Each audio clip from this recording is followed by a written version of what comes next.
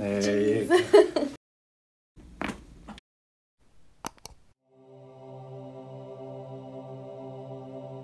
How long have you been having the knee issue for? um, years. Um, Did it happen? Did it start traumatically? Did you fall and twist it or hurt it? no, it just started getting worse and worse, and then I felt like I didn't feel any pain. It just felt like something was wrong. Hmm. Are there activities that will provoke it, make it worse? Yes, now I started getting pain whenever I like squat or do lunges, anything like that. That's when my knee starts hurting Right away or the next day? right away. Mm. hmm And you've done what for this in the past? Um, nothing really. Just iced it. Um, physical therapy. That didn't really work. You went to the doctor, they sent you to PT? Yes. And did the doctor, what did the doctor say to you about this type of injury? He said I had patellar tendonitis, and Mhm. he said that my kneecaps were too high, Mm. more than normal, so that I was always gonna have issues with my knees. You just stuck with them. Mm-hmm. You're always going to have them. That it was gonna be a problem for forever, pretty much. Got it. Does it create any other type of pain? Do you get back pain ever? Um, no, not really. hmm How about like dancing or anything like that? I only bring it up because you might have Um. mentioned this to me in the past. Yeah. Well, when I was dancing, I hurt my back. So Okay, so your dance moves, they get pretty aggressive. Is that I guess so. yeah, kind of.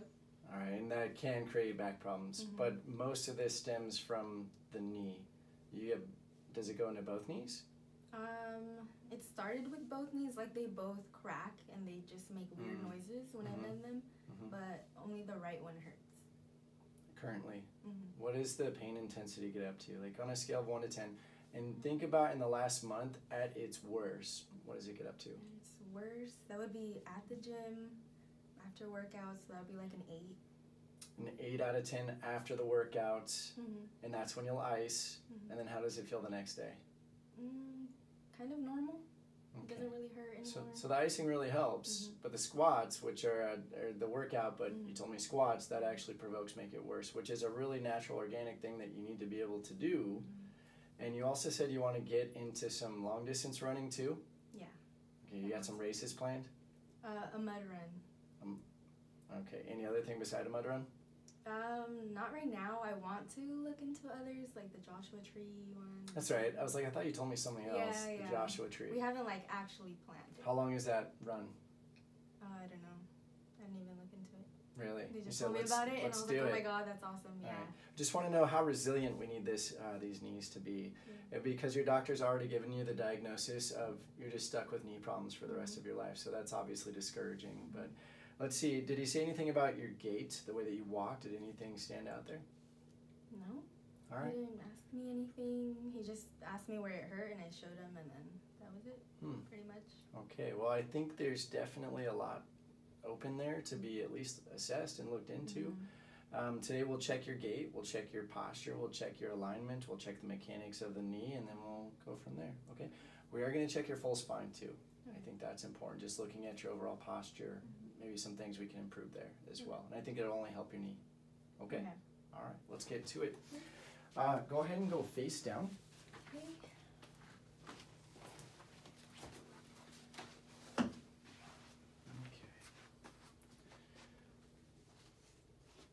So you said your right knee you have more pain? Mhm. Now, one of the first things I notice, and you can see this, actually, if we come into view above here, is you walk pigeon toed, I think. I can tell it immediately just by the way you're presenting here, but more so on the left. Can you see the foot angles in right here? Do you feel like you're just relaxing comfortably here? Yeah.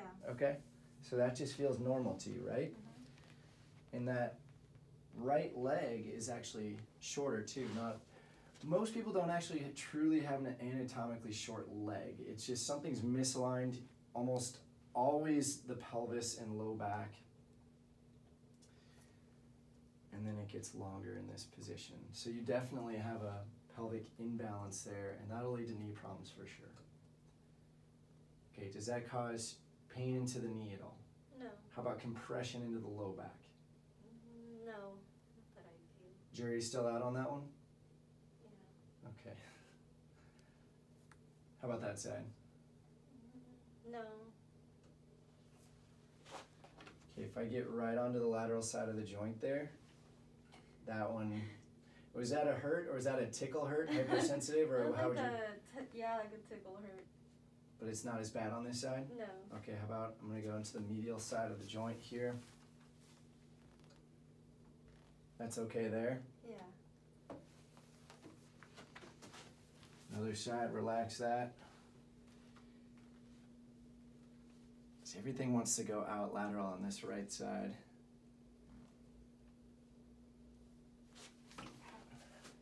What did you feel right there? That Was it hurt. Yeah. mhm. right when I opened the joint completely? You felt it right in this area yes. here. Yes. Now we're not even on the kneecaps right now. So for patellar tendonitis to truly be the problem, we're not even we're nowhere near the patella. Let's just check. We're gonna check this suspension system here. You're gonna bend your knee, push against my hand right here. Push. Bring this one up. Push. That one's actually weaker. Do you feel that weakness? Yeah. Okay. Did it cause any pain? No. Okay. Now what I'm gonna have you do is twist your foot out and you're gonna bring this in and you're gonna push your foot towards this side of your leg. Go ahead and do that now. Hold. Okay, and then the exact opposite. Twist your foot in, bring it out, and push towards this side of your leg. Hold. That feels pretty good. Let me chest it, take this side one more time. Hold. Does it cause more pain or weakness on that side when I do that? Weakness. Yeah. What's more sensitive on the ITs, here or here? About the same? Yeah. Okay. Go ahead and take a straight right leg and lift it up as high as you can. So the entire leg. Okay, go ahead and relax. And now the other side. Wow, what do you feel on that one? What do you feel different? I could lift the left way higher. Way higher, right? Yeah. I mean, that wasn't even uh, close to a difference there. So your weakness travels all the way through the hip, goes down the knee, both the medial and lateral side of the joint, and the upper part of your femur there. And then you have this weak left hamstring. So let's check the glutes here. You're gonna bend your knee, lift your leg up high, hold that. I'm gonna push against. I mean, that's awesome. So this hamstring is weak, but the glute is actually pretty solid. You're gonna bend this one, let it bend. Can it bend any further? There you go. And then lift up as high as you can. Push, hold, nothing. Okay. So weak glute, weak hamstring, medial side of that hamstring.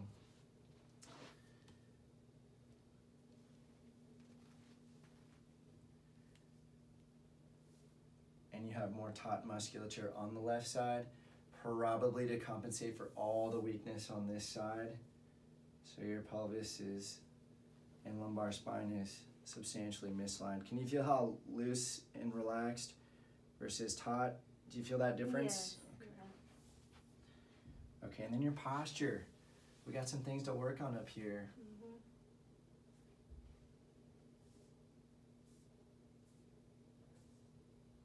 Where's it more tender? Do you feel that spot there? Yes. How about that spot there? The top one is more. T- More tender? Mhm. Okay, and then relax your shoulders.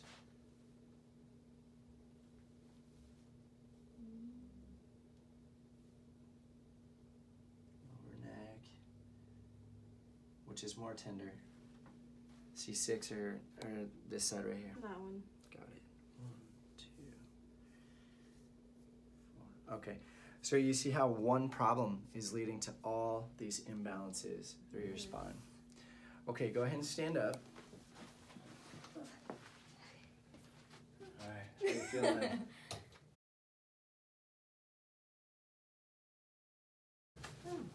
This is your back from behind, and you're gonna see your pelvis is actually in pretty good alignment here, but your back, especially starting right between L3 and L4, the bone is actually right here at L3, is twisting and lateral bending there. So that's a misalignment there. That's why a lot of that musculature is off in this area. And it really important neurologically, the nerves coming that the spine is designed to protect here. So here's the nerves that are designed to protect. When those are misaligned, you can put abnormal pressure on the disc and the nerve. And those nerves right here are responsible for a lot of the stirrup muscles of the knee. So like the, the sartorius, the gracilis, um, uh, even the quadriceps, which is just below it at L4. So we're gonna do a couple more tests, okay? Go ahead and lie on your back, and then we're gonna take a look at your gait. Go face up. Oh, on my back. Yeah. Sorry. Everybody gets that wrong. Okay. Push up against my hand. Resist. Any pain on that? No. Turn this in. Push up. Was that painful? No. And now we're gonna turn out. Push up here. How about that one? Does that one feel weaker? Yeah. Can was feel the difference there? Yeah, for sure. So remember, you walk. Well, we'll come back to that. When you're lying down, it looks like you walk more pigeon-toed. Mhm. Push up here. Good. Turn in. Push up here. Turn out. Push up here. That one's super strong. Mhm. Felt the difference, yeah? yeah? We're gonna check these TFL muscles. Sometimes when people walk pigeon toed, it's because their TFLs are not engaging properly and getting good external rotation with their glute medius to the femur down to the knee. So, what you're gonna do is push your foot up and out this way. Go ahead and do that now.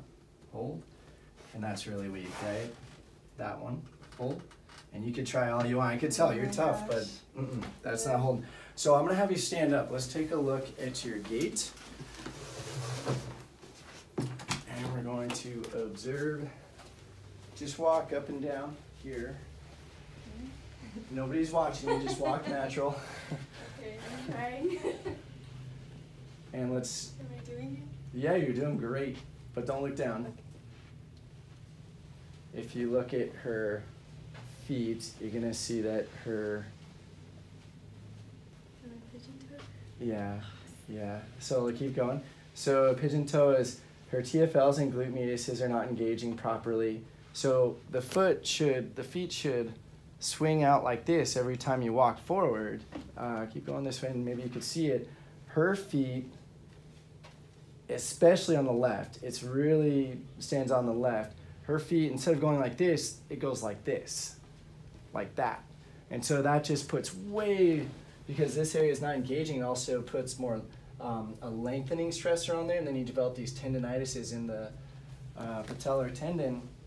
And then your MD says, oh, you got knee problems for the rest of your life. But really, I think it's just you have to assess and diagnose these mechanical errors, and then this is something you don't have to live with. We just have to fix those stressors. And you can do squats and crazy dance moves and do great.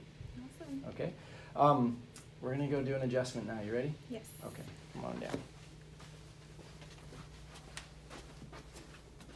Okay, Face down. face down, please.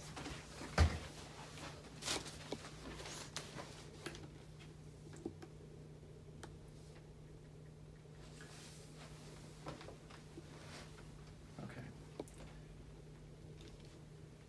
Go ahead and Did you need anything? I need to turn off the phone. Oh, it's on the phone. Okay, and commence. Sorry. Okay. We're gonna come back to this knee. We're gonna save that for last. What we're going to focus on right now is lining up the low back all the way up to the neck.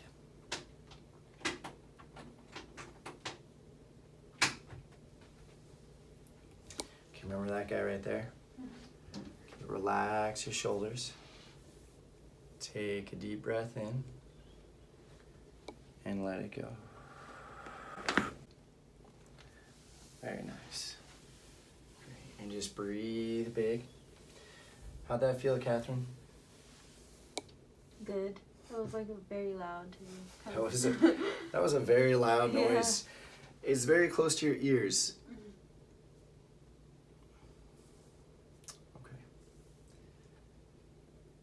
Now this next adjustment we're gonna it's gonna help balance out the leg length here, okay? We'll probably have to do it in two adjustments. Lie on this side, facing me right over here. Good.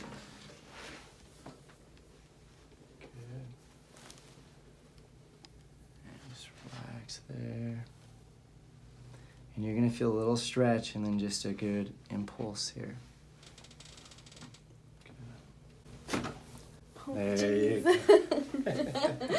That was great. You did great. Go ahead and lie on the other side facing me. You doing okay? yeah. All right, great.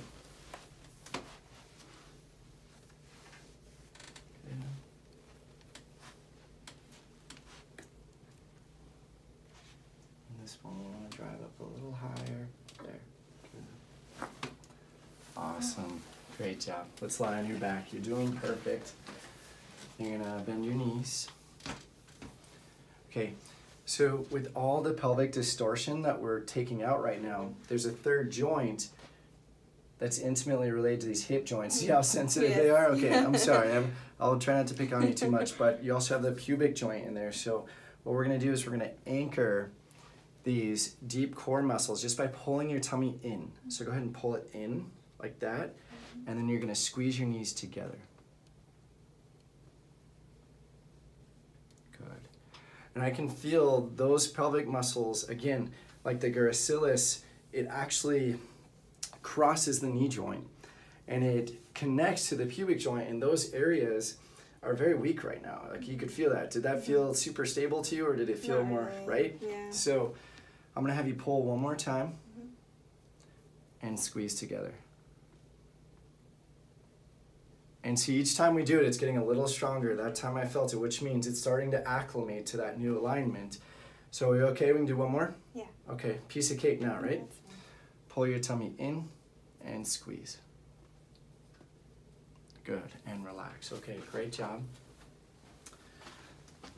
Now the upper back and the low back, they're all important. The main contributor to good balance and alignment of your spine starts in the neck though. Good,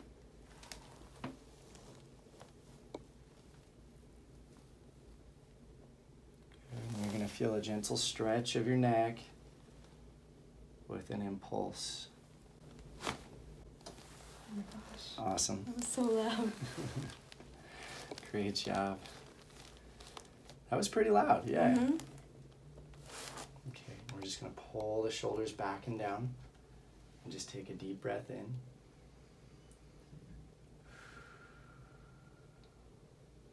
Okay, not only are the, the knees, the hips are all gonna be working better together, but you're gonna be standing taller, walking with more grace, more efficiency, more resilience. It's all gonna be coming together well. Okay, right there.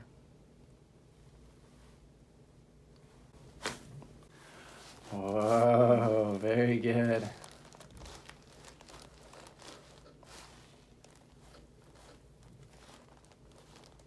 Okay, and just relax there for a little bit. I just want to see if just what we did is starting to strengthen up, turning some lights on down to the legs, uh, the, all the extremity muscles. Pull tight here, squeeze tight here. Hold. That is 100% stronger right there. I mean, that is way better. We didn't even really do much here. We focused on the neck that last one. Okay, drop these down here. Pull your foot up and out against my hand. Hold, hold, hold, hold. Okay, you get about a 20, 30% improvement. Not perfect, but that's okay. Relax there. I feel you trying, but hold on. Just relax. Turn it in and push it out right there. Hold. Okay, that turned on for about a second, and then it was like, I don't have much left after that. But that's okay. Sensitive spots here. These are your TFLs. Mm-hmm. Those are those guys that are not turning on right now. So we're just gonna grind those out. Breathe through it. You're doing great. okay. okay, go ahead and go tummy down. That wasn't so bad, right? And for me, it was easy. For you, maybe it was kind of Yeah. bad, but yeah, okay. Okay, let me know sensitivity changes down here. Just be honest, because if, if it's not getting better, we're gonna get it better anyway. So mm-hmm. that lateral side better or same. Oh, better. Medial side still feels kind of nasty to me. Yeah. You feel it? Yeah. Yeah. Okay. very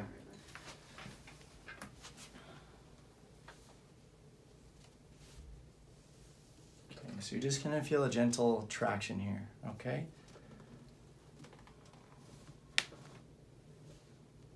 And then a little impulse. Oh, good. Okay, and just take some deep breaths.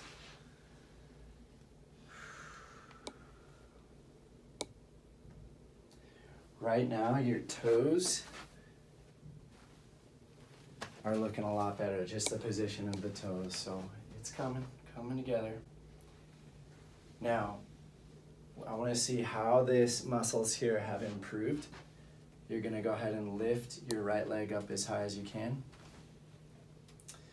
Okay, it's good. I can still feel some apprehension, but let's lift up your other side. Yeah, so there's definitely, it got already, I mean, halfway there. So you're, but half is good, but if we can get more, we're to try to get more. So go ahead and on your back. Okay.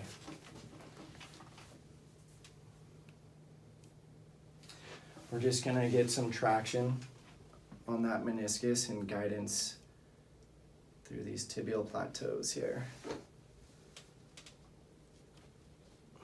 This is more of just a knee traction. So you're gonna feel me traction it out and give some external guidance there. And for you, it's a piece of cake, right? Yeah. Let that go. Good. And you're gonna feel a traction through that hip. Woo, very nice. Okay, bend your knees. Pull your tummy tight. So everything where you keep trying to re-ground that pulley system. So spread your knees out a little wider this time. It's a bit more challenging. Squeeze here, hold. And it doesn't matter, it's rock solid, right? Mhm. Okay, Yeah. good. Go ahead and stand up. And let's do one more postural adjustment. So I have a seat right here. Interlace your fingers behind your neck. Bring your chin down and relax. There wasn't much left. That was awesome. Okay, go ahead and stand up. Let me just have you march in place a little bit to shake it out. So come on over here and face me. Let's get a good look at you. Shake it. No crazy dance moves though yet. We'll get them. Let's go for a little walk, okay? I feel different. So when you say different, like how do you, how so? Like lighter, like Mhm. weird. Like, Lighter, weird is perfectly acceptable. am I still walking? Yeah, keep walking. Uh, for a couple of reasons. Uh, keep going. We want to allow your body some time to acclimate to the new changes. And I want you to try something. It's going to feel a little unnatural, but it'll help you receive the adjustment better. Take a smaller stride, but a wider stride.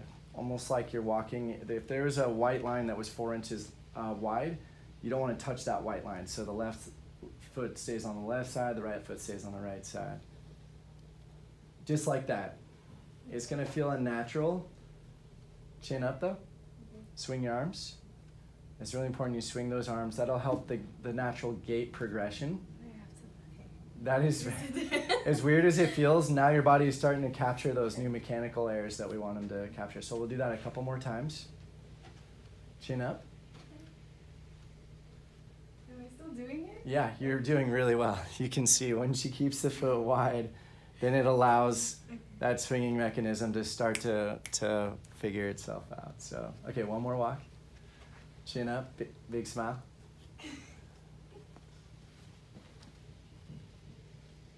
And back. this. No, yeah, you're doing great.